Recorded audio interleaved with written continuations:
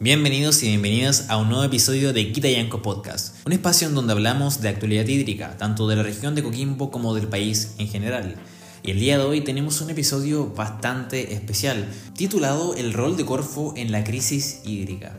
La Corporación de Fomento de la Producción, también conocida como Corfo, es una institución que ha estado muy ligada al desarrollo económico del país, apoyando en la creación y el financiamiento de proyectos y diversas iniciativas de innovación.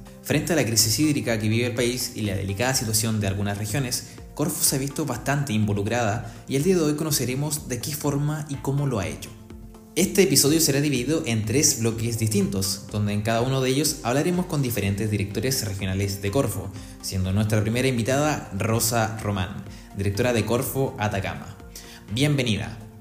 Hola Edward, muchas gracias por la invitación. Muchas gracias a usted por darse el tiempo de estar aquí en este espacio. Y ya comenzando, quiero preguntarle cómo es el contexto hídrico allá en la región de Atacama. Eh, bueno, bueno, en nuestra región eh, vivimos un contexto de escasez hídrica hace ya más de 20 años. No, no, ya en Atacama no hablamos de crisis hídrica como, como se está hablando en otras regiones, ¿cierto? Donde este problema está iniciando o ha iniciado hace poco tiempo.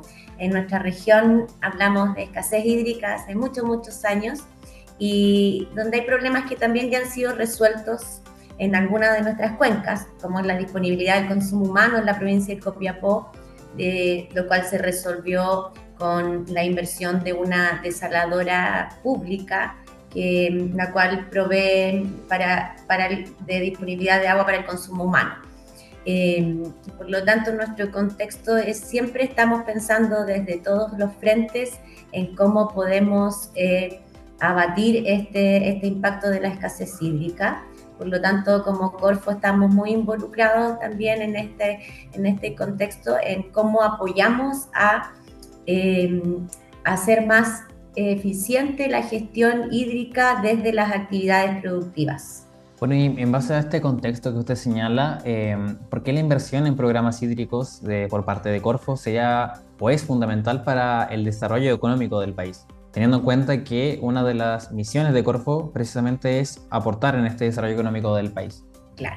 Bueno, es importante hoy día, eh, se ha, esta importancia se ha traducido en que hemos eh, tomado como un eh, desafío productivo regional la gestión y eficiencia hídrica para el desarrollo productivo sostenible en la región de Atacama y esto ¿por qué? porque eh, existe un, al unísono entre varias instituciones públicas, desde el gobierno regional, la Dirección General de Aguas y las demás instituciones, la academia, instituciones públicas y privadas, hemos coincidido en que eh, debemos eh, invertir y eh, trabajar y colocar programas en gestión y eficiencia hídrica.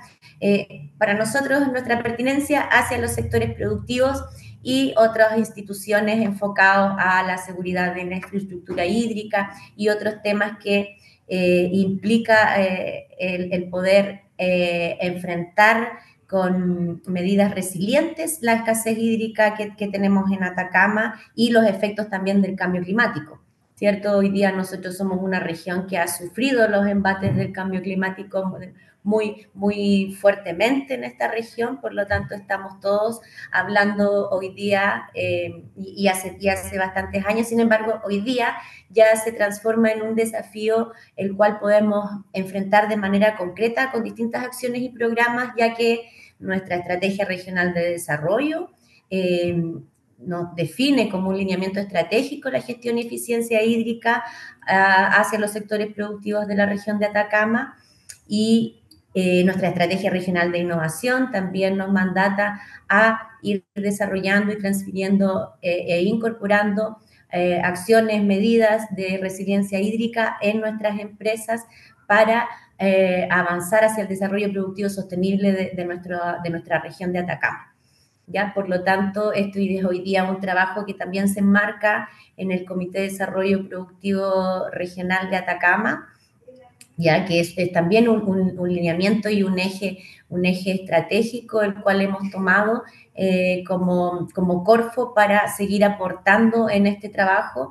la Corfo no solo desde ahora, desde que yo soy la directora regional que estamos trabajando en estos temas, sino que ya hace más de 20 años, como te decía en un inicio, que desde la Corfo se ha estado invirtiendo en distintas acciones, programas que, que vienen a contribuir a incorporar eh, eficiencia hídrica en, em, nuestras empresas, eh, pero también hemos podido aportar en conjunto con la academia y otras instituciones eh, tecnológicas, hemos podido aportar desde el conocimiento a través de nuestra línea de bienes públicos.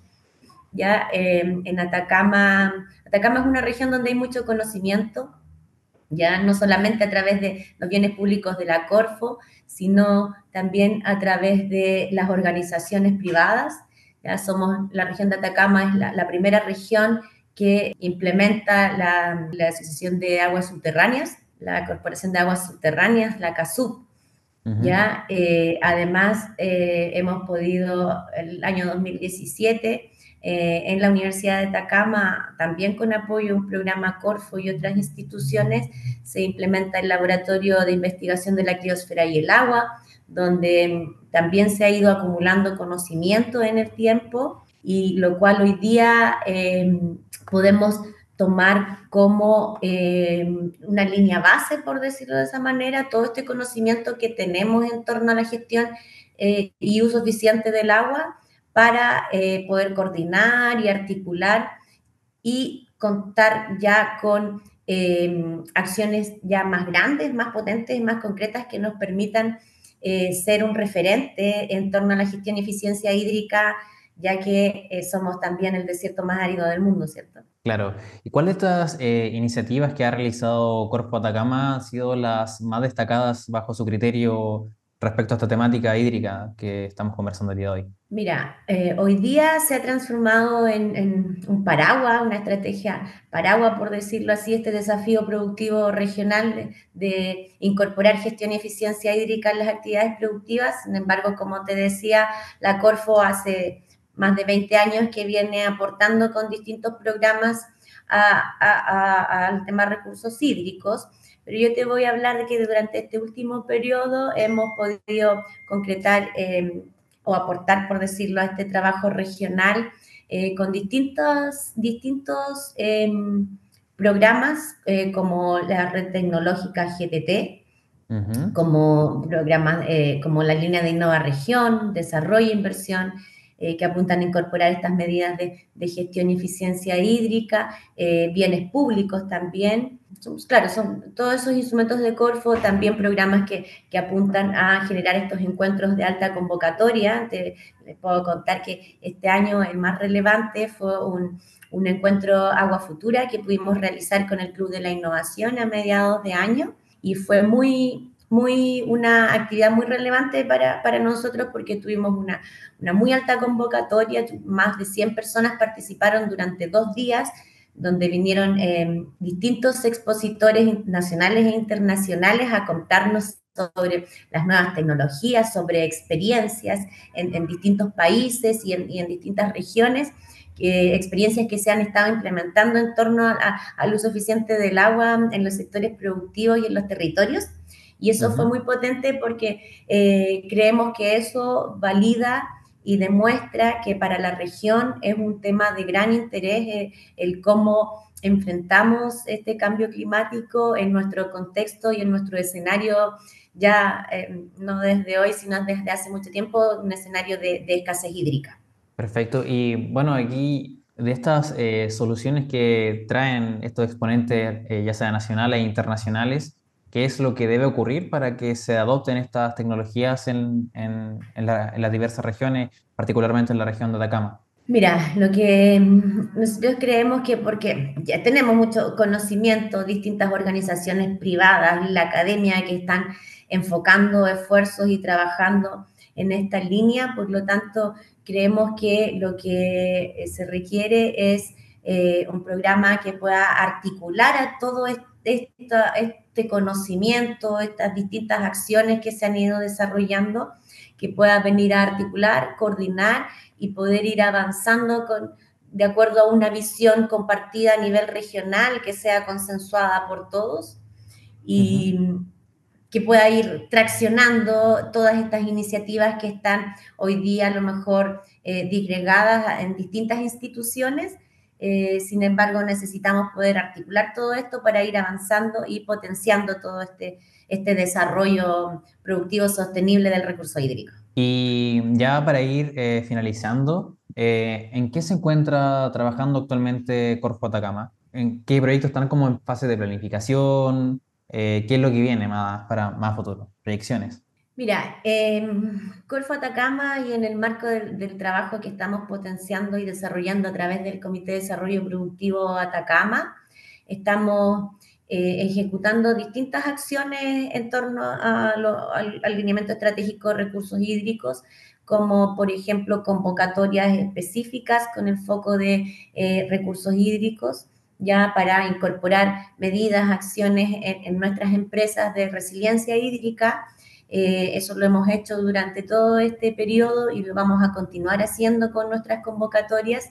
No es que todos nuestros programas no van a tener ese foco, pero sí parte de nuestros, de nuestros recursos van, y nuestras convocatorias van a ser focalizadas en torno a recursos hídricos para poder potenciar este trabajo en nuestras MIPIMES. Eh, también estamos trabajando en, ya se han adjudicado y se vienen otros concursos también de bienes públicos, ya también para todas aquellas organizaciones que quieran contribuir y eh, solucionar alguna falla en mercado que podamos eh, a través de un bien público poder implementar alguna solución, ¿cierto? En eso también estamos trabajando. También hemos levantado distintos programas que aportan a, que vienen a, desarrollar el ecosistema en torno al recurso hídrico, ya programas de formación, de, eventos también que nos permiten poder generar estos encuentros, ¿cierto? Y eh, el más importante y el programa principal es un programa Transforma Recursos Hídricos, ya que también es eh, Eficiencia Hídrica Sostenible Atacama. Este es un programa de Corfo, eh, el cual se, viene, viene a, complementarse a todo el trabajo que estamos realizando a través del Comité de Desarrollo Productivo Atacama. Y este programa se pone a disposición a nivel regional para eh, poder generar una plataforma y, poder articular, eh, coordinar y tomar, poder tomar todo lo que sea en torno a los recursos hídricos desde el ámbito productivo, podamos ir traccionando y concretando en torno a nuestro ecosistema productivo. Ya este programa tiene por objetivo principal durante este año, estamos en cursos, estamos, se está... Eh, en un proceso de licitación, pero es un programa que está iniciando, ya todavía aún no iniciamos su año uno y estamos en el proceso de que, que es el objetivo principal de este año, es poder conformar eh, la gobernanza de este programa y que de manera eh, conjunta con todos los actores del territorio público, privado, gobierno regional, academia, eh, organizaciones de usuarios de agua, por supuesto, todos en conjunto seamos parte de esta, de esta gobernanza y a través de este modelo podamos ir construyendo nuestra visión compartida, pero una visión de largo plazo en torno al recurso hídrico y eh, se pueda construir una hoja de ruta que podamos ir concretando a, medida que, que, pasen los años con un horizonte de tiempo de nueve años que va a durar este programa. Ya nosotros contamos con una hoja de ruta en la región del año 2017, eh, periodo en el cual también se, se trabajó en un programa estratégico regional de recursos hídricos, por lo tanto ahora esperamos a poder actualizar esta hoja de ruta, actualizar, traer a, estos tiempos también donde no, no, no podemos dejar fuera ninguna ninguno de las áreas en torno al desarrollo productivo sostenible, ya que hoy día nuestra misión principal es cómo hacemos eh, sostenibles a nuestros sectores productivos en un contexto eh, de cambio climático, ¿cierto? De, cómo combatimos este, los embates del, cambio climático. Eso es lo que estamos hoy día. ¿Usted consideraría a la, región de, Atacama, bueno, el trabajo que se ha hecho en Atacama como un trabajo pionero en, esta materia? Eh, más que nada, lo que pregunto me ha enfocado en, cómo usted considera que lo que se ha trabajado en Atacama ha ayudado a, las otras regiones que también están pasando por una situación no tan eh, drástica como lo que es lo que vive en la región de Atacama, pero llegando ya a niveles bastante parecidos, como son la región de Coquimbo, Valparaíso, que tienen grandes porcentajes de, certificación. Claramente, eh, creo que como región de Atacama podemos llegar a ser un referente para las otras regiones y, no solo para otras regiones, sino también para otras partes del mundo ya eh, porque si bien puede que nosotros estamos pensando hoy día no tenemos un gran centro tecnológico del agua, ya ese, ese también es una de las metas en el largo plazo, sin embargo hemos podido eh, concretar algo que, que, que, se espera replicar por otras regiones, como por ejemplo el proyecto de la planta desaladora, que es un claro ejemplo de articulación público-privada, de cómo, cómo se concreta rápidamente y se soluciona un problema que gracias a, esto no llegamos a que no, dejara de, de, salir agua de la llave desde los hogares, ¿cierto? Con, esta inversión esto se pudo resolver y hoy día es un tema que ya está resuelto, ya regiones como Coquimbo están buscando replicar este, este, este modelo público-privado. Eh, en, ese sentido, claramente para, para, las demás regiones es un ejemplo a seguir lo que sucedió en Atacama eh, hace un par de años atrás. Y también el cómo, el cómo han ido trabajando también las organizaciones de usuarios.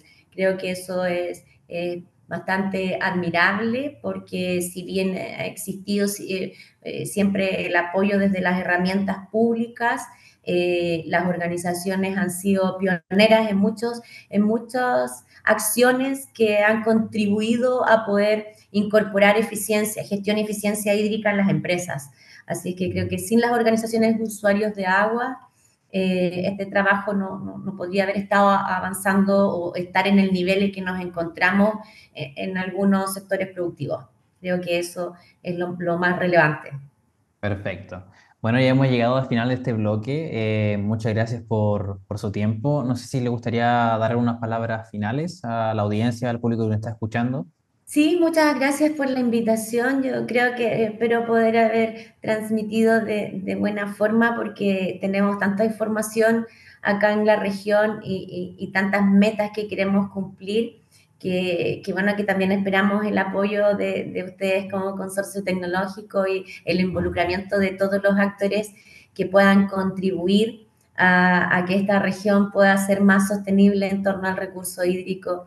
Eh, nuestros sectores productivos puedan ser más sostenibles en torno al recurso hídrico. Así es que muchas gracias y sumarnos a, todo, a todas las acciones que puedan contribuir a este trabajo, no solo en la región, sino también en el país. Sí, perfecto. Igual la, la idea, el beneficio de esto es que se van desglosando las temáticas y va desde lo general a lo particular. Así que más adelante es muy probable que podamos ir desglosando temáticas que quedaron aquí en el tintero y que para no alargar tanto el episodio eh, se ha tenido que dejar hasta aquí. Así que igual desde nuestro lado esperamos contar con ustedes nuevamente para seguir hablando de estos temas que son tan importantes en la actualidad y más de una región tan experimentada como la región de Atacama. Así que muchas gracias por Con mucho gusto, Edward.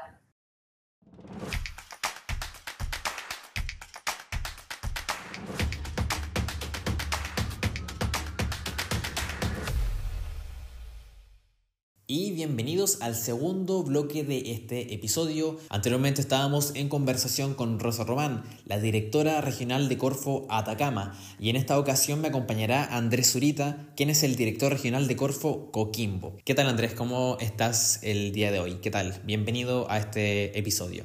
Hola, ¿cómo estás? Muy buen día, muchas gracias por la invitación. A ti por asistir. Bueno, cuéntame primero un contexto de lo que es eh, la situación hídrica en la región de Coquimbo. ¿Cómo, cómo la ves? Bueno, el contexto no es, muy, no es muy favorable. Hemos tenido hace bastantes años ya un, problema de, déficit eh, estructural, diría yo, eh, lo cual genera una escasez hídrica severa, prolongada en el tiempo, lo cual de alguna u otra manera ha impulsado a que se realicen muchos ajustes en los distintos sectores productivos, especialmente en, el sector que más consume agua, que es el de la producción de alimentos. Eh, por lo tanto, había un, un impacto eh, sostenido en el tiempo. Desafortunadamente, esto se agravó el, el, especialmente el año pasado, que, que todos esperábamos un año con eh, por lo menos un, un, régimen pluvial más cercano al, histórico, pero desafortunadamente ocurrió todo lo contrario,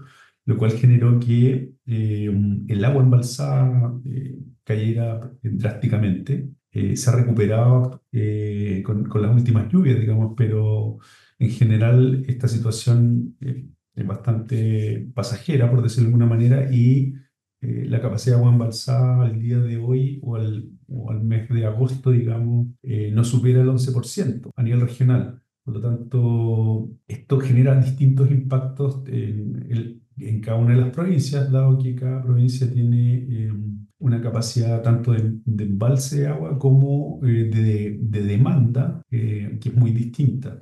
Y en este caso, eh, una de las provincias que tiene los problemas más, más agudos, diría yo, es la provincia de Limarí, seguidamente la Elqui y finalmente la provincia de Chobayo, diría que está un poco más aliviada al respecto, dado que su volumen embalsado es mayor.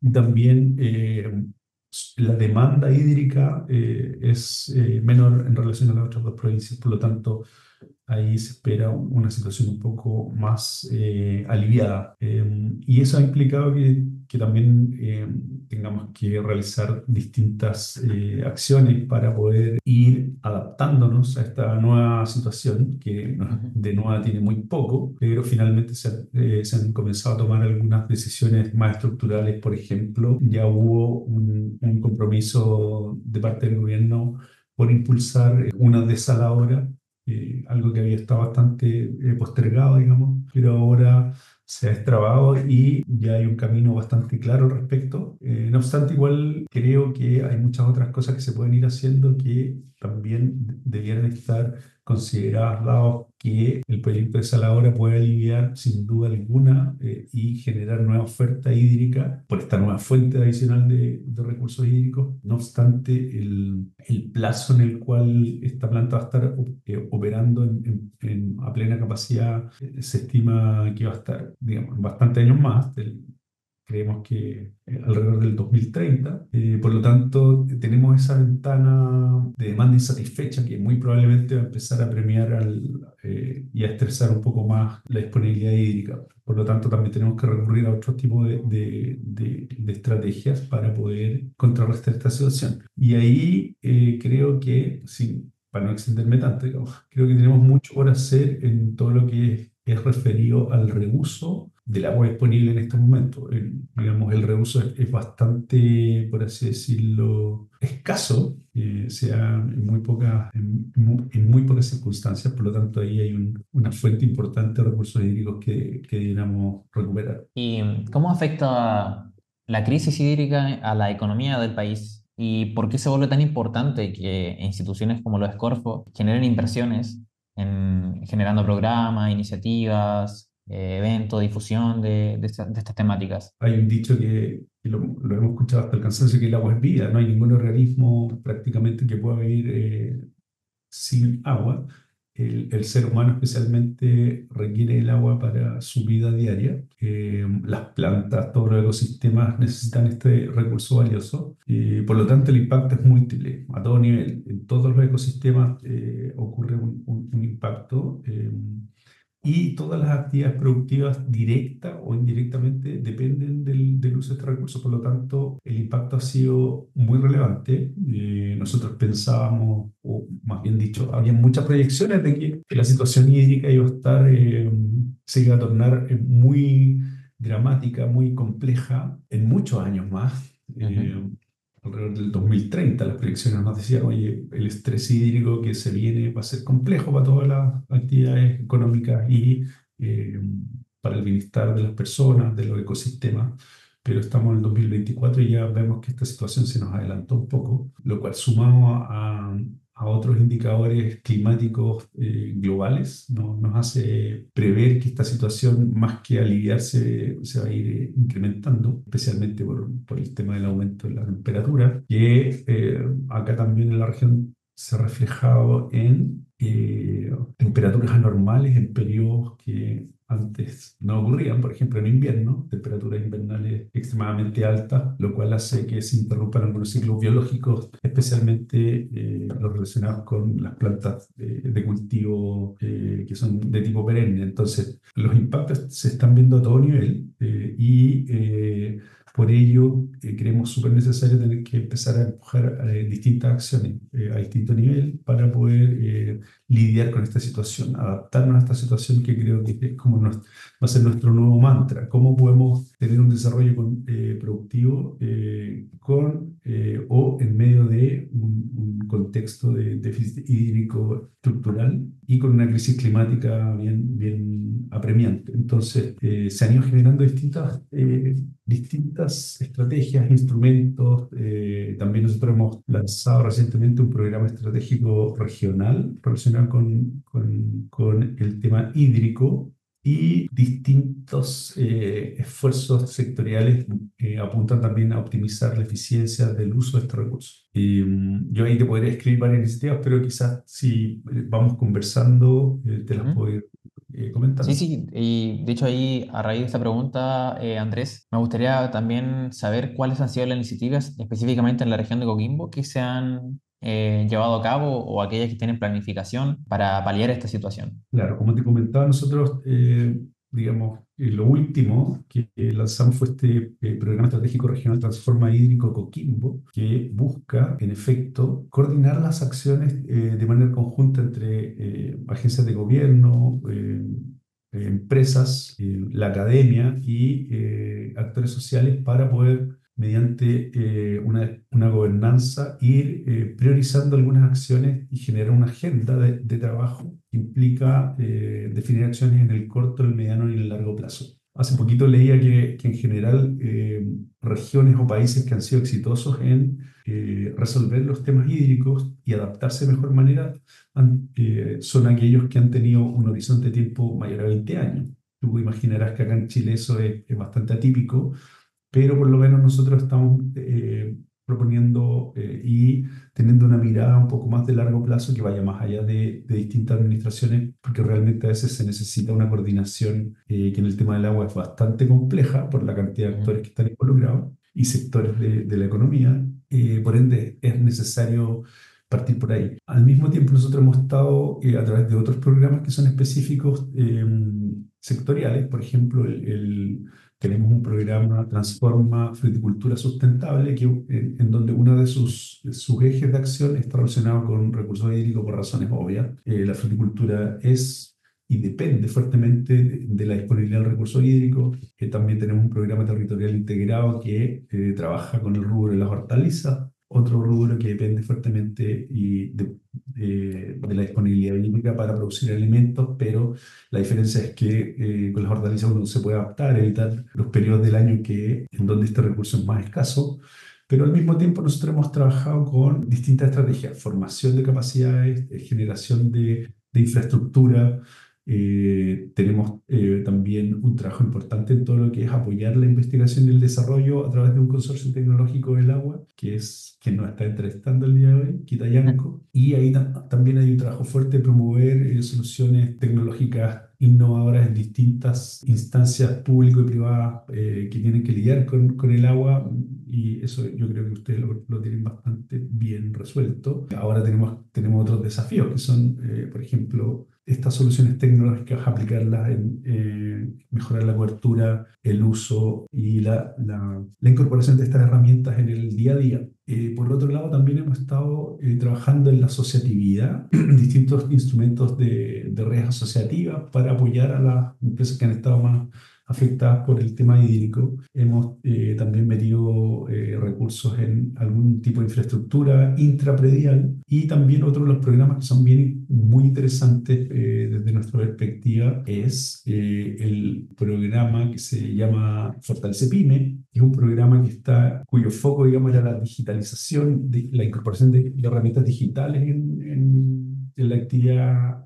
agrícola pero finalmente también ha incorporado un, un, un área muy fuerte de eh, tecnologías para mejorar el riego y con ello eh, hemos podido impactar a un número bastante importante de pymes agrícolas, estamos hablando de 150 pymes o empresas de menor tamaño eh, que quedan fuera normalmente de, los apoyos y de, la, de, los, de los instrumentos de INDAP, por lo tanto es un segmento bien importante también porque genera bastante movimiento en la economía, genera empleo, hay mucho movimiento y en este programa particular eh, se ha avanzado bastante en, la incorporación de sondas para mejorar eh, la eficiencia de uso del, del riego, comprender cuáles y cuándo son los mejores momentos para regar y con ello hemos eh, permitido que se ahorre un porcentaje importante del recurso hídrico sin afectar la productividad. Eh, lo cual es bastante positivo, dado que normalmente el, este recurso que ahora es tan escaso eh, se vuelve crítico en, algunas, eh, en algunos momentos de la temporada de crecimiento de, de los cultivos frutícolas especialmente. Entonces tenemos una serie de iniciativas que también apuntan a esta formación de capacidades, a la generación de nuevas tecnologías. De hecho, hemos tenido además algunos programas que, que nosotros le llamamos piloto, que son nuevos, uno dirigido especialmente al tema hídrico, que son los retos de innovación, en donde financiamos proyectos de desarrollo de I+D que pudieran generar soluciones tecnológicas en el corto plazo digamos que tienen una madurez tecnológica eh, incipiente, pero que necesitan avanzar eh, de manera importante para poder llegar eh, a acercarse a los usuarios al mercado. Entonces hay un conjunto de herramientas que han estado articuladas para poder adaptarnos de mejor manera a esta realidad, a esta nueva realidad. Por, por tanto, hemos estado ahí trabajando de manera muy intensa como te decía, el, dado que el recurso hídrico es, es eh, habilitante de cualquier actividad económica y por, por tanto eh, sin agua no, no, tenemos actividad económica. Bueno, y tampoco y, afecta la calidad de vida, por supuesto. Andrés, ¿y cómo se ha estado trabajando con con las otras Corfo la, en cada región. Hay un trabajo colaborativo entre, entre Valparaíso, Atacama y Coquimbo al, compartir un escenario eh, bastante similar. Exacto, nosotros ahí eh, te diría que tenemos, eh, no, por, no por coincidencia, pero en, estas tres regiones, cada una ha definido de manera autónoma que su programa estratégico regional está, está relacionado con el recurso hídrico por lo tanto, ahí eh, existe esta misma mirada, eh, existe también el, intercambio de experiencias. Eh, nosotros, como tenemos que ir implementando nuestros instrumentos de manera regional, ello implica que cada uno actúa de acuerdo a sus tiempos y sus capacidades implementando distintos instrumentos, pero que están enfocados en, en el mismo, en, con, con, el mismo fin. De hecho, esto de los retos de innovación ha sido, no, no, no, no es solamente de nuestra región, sino que también se, se aplica en otras regiones. Por tanto, eh, hay un, esfuerzo que, es sistémico por parte de la Corfo y, tanto es así eh, que ahora hemos eh, definido como una línea estratégica dentro de lo que implica este esquema y la propuesta del desarrollo productivo sostenible. El desarrollo productivo sostenible también incorpora distintos desafíos individuales, ¿ya? Y el desafío, uno de los desafíos primarios, o si no el primario, es justamente eh, todo lo que dice relación con el uso del recurso hídrico. Entonces ahí hay una, una serie de coordinaciones, eh, aprendizajes y también intercambio de experiencias entre las distintas regiones. Bueno, Andrés, y ya para ir cerrando, una última pregunta. Em, ¿En qué están trabajando actualmente en, en, la región de Coquimbo? Actualmente nosotros estamos implementando nuestro programa estratégico regional Transforma Hídrico. Hemos comenzado, eh, bueno, por cierto, hicimos un lanzamiento público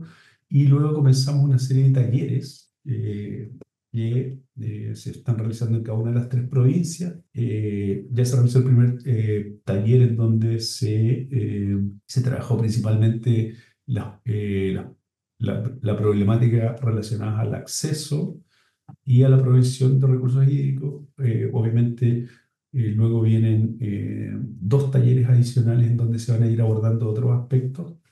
Con, este sustrato eh, vamos a ir trabajando en paralelo con la gobernanza para ir, eh, como te decía, eh, definiendo algunas de estas prioridades para poder en, en, concreto generar una hoja de ruta, un plan de trabajo que incluya acciones que están orientadas al corto plazo, mediano y largo plazo. Obviamente muchas de las cosas que surjan de estos encuentros, de estos talleres y del trabajo de la gobernanza, implican esfuerzos que son más grandes que, lo, que las competencias de, de, nuestra agencia, de la Corfo, que eh, por cierto también involucran a otras instancias, tanto de gobierno como el mundo privado.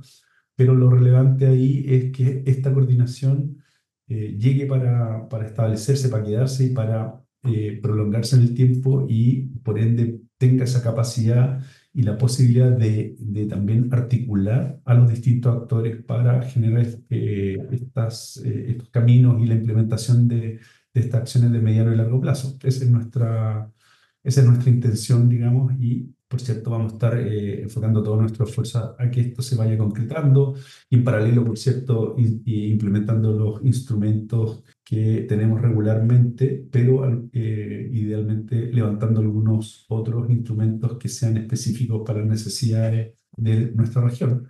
Y ahí es bien importante el apoyo que, que también se ha recibido por parte del del Consejo Regional y del Gobierno Regional para la generación de nuevos fondos que nos permiten, digamos, focalizar muchos de nuestros instrumentos eh, específicamente para la región, para algún una problemática, en este caso la hídrica, y también para algunas comunas dentro de la región que, están, eh, que se ven más afectadas. Esto a través del plan de, eh, o el programa de zonas de comunas en rezago, que también eh, nos ayuda a, poner un, un, énfasis especial en esas comunas. Entonces todo esto es como el, el, el plan de acción que hemos estado y estamos desarrollando en, durante estos meses. Perfecto, Andrés. Muchas eh, gracias por su tiempo. Eh, hemos llegado ya al final del episodio. Así que no sé si quieren eh, algunas palabras para despedirse. Sí, bueno, en primer lugar agradecerles esta instancia de, de, conversación, de comunicación,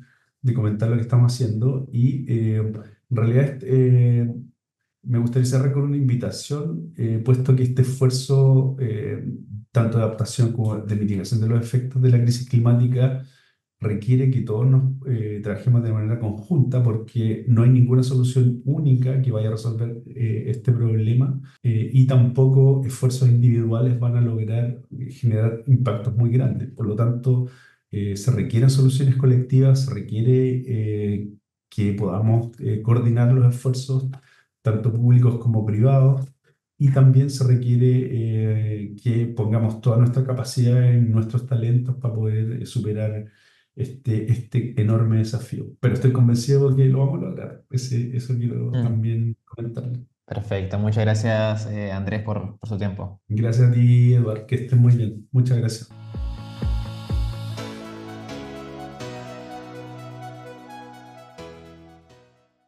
Acabamos de estar junto a Andrés Zurita aquí en Kita Yanko Podcast, tu podcast de actualidad hídrica preferido. No deje de sintonizarnos. A continuación estaremos hablando con Etienne Choupey, director de Corfo Valparaíso. Muy buenas tardes, seguimos con este episodio extendido difundiendo el rol de Corfo en la crisis hídrica.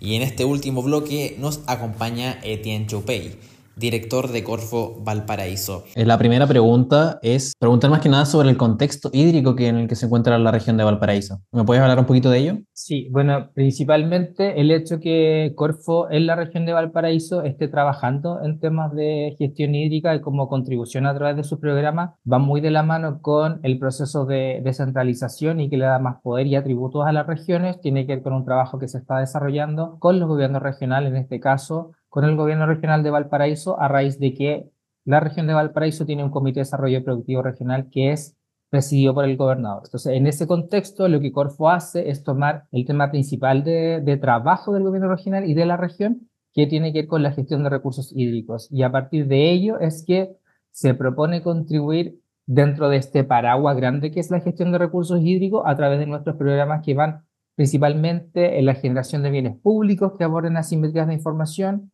y también el desarrollo de soluciones tecnológicas innovadoras desde, distintas disciplinas que puedan contribuir a lo que es la gestión de recursos hídricos, en particular desde lo que es el sector eh, agroalimentos. Por lo tanto, hay también un trabajo eh, importante que tenemos que hacer y estamos haciendo un poco en culturizar a los distintos eh, empresas agricultoras y agricultores en particular por justamente poder hacerles ver la importancia de lo que es la gestión de recursos hídricos y la eficiencia eficiencia hídrica en sus actividades productivas y en otras, por supuesto, y que eso finalmente tiene que ver con toda la ciudadanía. Perfecto. Y bueno, en base a este contexto, bueno, uno de los objetivos principales de Corfo es impulsar el desarrollo económico del país. ¿Por qué la inversión en programas hídricos es fundamental para lograr esto? Sí, nosotros lo estamos viendo de la perspectiva desde los programas en particular, que tiene que ver con, tenemos un programa que se llama Retos de Innovación, que permite a los emprendedores de base científica tecnológica, en particular, proponer soluciones tecnológicas desde distintas dimensiones a lo que es el fenómeno o problemática de lo que es la gestión de recursos hídricos. Nosotros esperamos que, en virtud de lo que es el desarrollo económico local, los agricultores eh, en la región de Valparaíso podamos trascender más desde, desde, lo que es la eh, importación de tecnologías a lo que es el desarrollo de tecnologías con talento emprendedor de la región. Y ahí de alguna forma cerrar un poco este como círculo virtuoso que nosotros vemos con mucha eh, ánimo y esperanza que ojalá actualmente vaya madurando a través del tiempo en lo que es fomentar un ecosistema más científica tecnológica. Y eso, por supuesto, tener desarrollo de tecnologías que se puedan con talento eh, regional poder ser vendidas a los, a los agricultores de la región y también a otros países aledaños que puedan tener problemáticas relacionadas mm. con cambio climático, obviamente vemos que eh, hay una, eh, una importancia y un espacio donde se puede dinamizar más la economía a través de las distintas eh, políticas públicas que está impulsando el, gobierno y también la Corfo en este sentido en particular. Perfecto, y concretamente me podría contar de algunas iniciativas, ya sea como que se hayan desarrollado o que estén en plan de desarrollarse, eh, que esté efectuando la Corfo. Mira, tenemos un programa que se llama la Red Fortalece Pyme eh, Aconcagua Quillota, que busca principalmente toda la, la etapa como alfabetización o evangelización, un poco tener una cultura en el sector agro a través de la digitalización. Cómo el Smart Agro puede contribuir a los, a los agricultores y a los empresarios a ser más eficiente con el uso de recursos agua a través de distintos software, dispositivos, eh, todo lo que tiene que ver con, con medir flujos. Eh, entonces, ese es un espacio interesante que siempre digo yo, tiene que ver un poco con democratizar el acceso a la información, el acceso a la tecnología como medio para ser más competitivo, más que un fin en sí. Y eso tiene que ver mucho con trabajar muy de la mano y personalizadamente con cada uno de los agricultores de la, de las provincias, las cuales está más, más afectadas por el cambio climático, en este caso la provincia de Concagua también, provincia de Petorca también, y todo lo que tiene que ver con eh, Comuna de Quillota, por ejemplo. Entonces, ese es trabajo como puerta a puerta. Y lo que también estamos desarrollando es, conjunto al CIREN, que es el Centro de Investigación de Recursos Naturales, el desarrollo de una plataforma que pueda eh, en, base a imágenes satelitales, poder, esto es, en, el, marco del programa Bienes Públicos de, Corfo, para contribuir a la gestión de recursos hídricos, tener una, una, plataforma de información respecto que permita eh, tomar decisiones sobre cuándo regar, qué zonas regar en la región de Valparaíso, cómo regar, cuánto caudal se determina, se necesita y también qué tiene que ver con la toma de decisiones, tanto que tienen que tener privados con respecto a cómo regar, qué regar, en qué momento regar, y también para la toma de decisiones desde la política pública, de cuáles son los programas más pertinentes para contribuir en esa fase. Eh, y lo otro que también son las, son las soluciones tecnológicas a partir del programa que tuvimos el año pasado, hacia fines del año pasado, que se llama Retos de Innovación, es como el sector agroalimentos te coloca un desafío o varios desafíos que tienen que ver con principalmente cómo medir y ser eficiente en el uso de recursos agua y cómo tienes distintas soluciones tecnológicas que puedan contribuir desde esos espacios con temas que ya se están haciendo desde, el punto de vista del conocimiento científico para poder contribuir con estas soluciones tecnológicas y ojalá en un momento más hacia futuro que puedan ser eh, vendibles y exportables. ¿Y cómo ha sido la recepción de los beneficiarios ante estas iniciativas? Eh, Súper buena porque eh, yo creo que el tema es, es un tema misión-región donde nadie te podría decir de la región de Valparaíso que este no es un tema en el cual tenemos que trabajar. Tiene que ver también como cómo la Corfo contribuye a mejorar la calidad de vida de la sociedad, eh, en virtud también de estar contribuyendo a un sector económico que es el más importante en la región de Valparaíso, el sector agroalimentos, obviamente en todo lo que tiene que ver con las exportaciones, donde por supuesto la eficiencia en el recurso hídrico va muy de la mano en esta dirección, y por supuesto también eh, mover y dinamizar una masa importante de emprendedores tecnológicos que tenemos en la región de Valparaíso, que este tipo de desafíos los lleva a ser súper creativos, a cómo a través de toda la experiencia que ellos tienen trabajando en determinadas temáticas o disciplinas científicas, les permite proponer y diseñar o desarrollar soluciones en virtud de una problemática en particular. Entonces, siempre yo digo, el sector tiene este problema o la sociedad o la región tiene este problema, pero podemos tener múltiples soluciones tecnológicas a una sola problemática y por supuesto todas pueden convivir y ser exitosas. ¿Y estas eh, iniciativas que mencioné anteriormente son replicables en otras zonas del país? Totalmente. Eh, ¿O están adaptadas a lo que es Valparaíso? Totalmente son replicables porque las soluciones tecnológicas que finalmente tienen una base científica es algo universal, por lo tanto es aplicable a distintas regiones. Lo mismo pasa con los bienes públicos. Y yo creo que aquí hay, un trabajo importante del, de la Corfo, es cómo estamos abordando programas regionales como gran título para agua desde lo que es la política pública, programas regionales estratégicos en gestión hídrica que permitan articular el trabajo de actores públicos y privados en torno a esta temática en particular.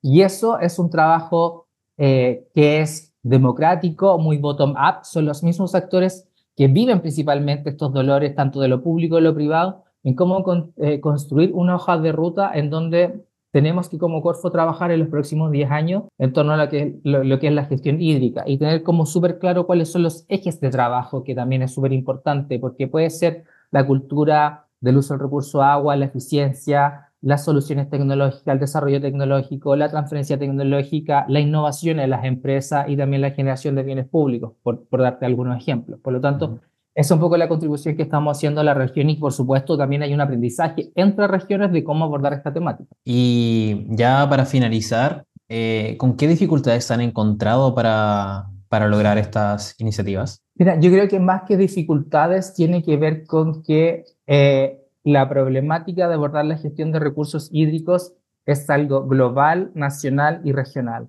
Y eso impulsa a que distintos actores tengamos este, este tema de trabajo como meta, como contribuir. Y ahí, eh, más que dificultad, tiene que ver con que cada actor estamos en un proceso de identificar cuál es exactamente el rol que tenemos en este gran tema de lo que es la gestión de recursos hídricos desde nuestra experiencia, de nuestro rol como institución también. Siempre Corfo va a estar en el marco principalmente de lo que es el desarrollo tecnológico, la innovación y cómo fomenta el emprendimiento y, por supuesto, convivimos con otros actores que también tienen dentro de sus planes y obviamente desde el sector público de cómo contribuimos a esta, a esta problemática desde dimensiones distintas. Algunos podrán hacer mesas provinciales, mesas articulaciones, foros, encuestas, en fin. Otros también muy desde la ciencia, de cómo la base científica puede contribuir desde a través de fenómenos, lo, sociológico también. Pero nuestro, nuestro espacio tiene que ver principalmente con eh, lo que es el desarrollo tecnológico, la innovación y fomentar también y ojalá tener más emprendedores trabajando en temáticas de importancia de la región. Y ahí en ese espacio es súper como bonito ver cómo los distintos actores en un, en un tema común podemos trabajar desde nuestras organizaciones en aportar cada uno un grano de arena desde, la, desde el rol que tiene cada una institución por una problemática regional en forma conjunta. Y ya por último, ¿cuál sería el siguiente paso para eh, Corfo Valparaíso en, en, estas temáticas hídricas? Sí, el segundo, bueno, es como un segundo paso que tiene varias cosas. Uno tiene que ver con que estas soluciones tecnológicas vayan llegando a prototipos, esto es decir, como el prototipo desde el punto de vista de la creatividad, que pueda ser más tangible, pero después pasa a ser como más, eh, se tiene que colocar a prueba en entornos reales. Eso quiere decir como que pasa del laboratorio a un entorno real de lo que es una empresa, por ejemplo, un sector industrial, a gran escala, con otros caudales, con otros volúmenes, por lo tanto pasa a probarse de cómo sería en la realidad. Ese es el segundo paso. Lo que tiene que ver también con la generación de bienes públicos tiene que ver, bueno, cómo también podemos llegar a un prototipo que es, bueno, cómo se va a usar este, esta plataforma de información, eh, cuáles son sus métodos de búsqueda, cómo también el sector público, el sector privado o cualquier persona de la ciudadanía puede llegar a un determinado tipo de información y que esa información le, sirva para la toma de decisiones que tiene que tomar en cada uno de, los puestos de trabajo en los cuales estén. Y en particular, lo que estábamos haciendo principalmente, que aquí también lo compartimos con, las, con las regiones de Coquimbo y Atacama, es tener este programa regional en gestión hídrica que es a 10 años. Estamos llegando casi a la mm. mitad del año 1 y eso significa trabajar muy de la mano con los actores en definir cuál es la hoja de ruta que vamos a trabajar por los próximos nueve años. Y ese trabajo es súper enriquecedor, de mucho aprendizaje, de mucho diálogo, de en este espacio que te decía yo, donde la Corfo contribuye con sus programas, es en ese espacio que los actores convocados levantan los ejes estratégicos de donde, de donde tenemos que conducir este programa para los próximos 10 años, porque yo digo, Corfo coloca sus programas a disposición de, de la región, de los actores, de la ciudadanía, y son ellos los que lo hacen realidad o lo hacen carne. Así que en el fondo son ellos la voz que nos van a decir hacia dónde tenemos que conducir eh, la, gestión, la eficiencia de, de, gestión de recursos hídricos en la región de Valparaíso. Qué buena iniciativa lo último que mencionaste, Etienne. Eh, bueno, ya llegamos al final del, del programa. Eh, no sé si te gustaría como agotar algo más que se quede en el tintero. Yo creo que eh, es súper desafiante desde estar en una dirección regional de Corfo, donde hay un tema importante en la región y cómo también desde todos tus programas contribuyes y el rol de la institución contribuyes a que esta problemática, si bien no quede solucionada, porque este tema no, no es de un día para otro, cómo, cómo contribuyes en un proceso con muchos otros actores donde queda muy claro cómo podemos ir avanzando en la generación de nuevo conocimiento, nuevas tecnologías, nueva información que contribuya a mitigar los efectos del cambio climático y en particular en la región de Valparaíso con lo que es la gestión de recursos hídricos. Por lo tanto, es un proceso de, de largo aliento de que vamos a tener que estar siempre con estos temas de la globalización y, el calentamiento global, pero que nos lleva a aportar con talento regional una problemática regional y ahí yo siento que se, se comienza a hacer este círculo virtuoso y por lo cual, por supuesto, nos sentimos muy satisfechos de contribuir eh, en un granito de arena dentro de un gran espacio de, actores y temáticas que se, están abordando en, la tema, en, lo que es el tema de gestión de recursos hídricos. Bueno, ahí tenemos las iniciativas de Corfo Valparaíso en lo que es este escenario de crisis hídrica que está viviendo el país y principalmente algunas regiones. Muchas gracias a, quienes, a todos quienes nos escuchan y a ti, Etienne, también eh, por haber participado, por tu tiempo y y eso, esperamos volver a encontrarnos en otra ocasión. Muchas gracias por la invitación también a compartir lo que estamos haciendo en Valparaíso. Bueno, con esto finalizamos nuestro tercer episodio. Esperamos que haya sido de su agrado y ya saben, denle like, compartan y difundan. Soy Edward Paez y esto fue Quita Yanko Podcast.